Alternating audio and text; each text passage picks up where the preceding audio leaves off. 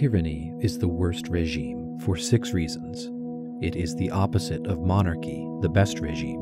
A force for evil is more effective when unified.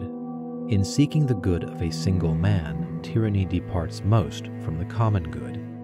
Other bad regimes have many rulers who may interfere with each other. A tyrant is unpredictable and dangerous, driven by his passions.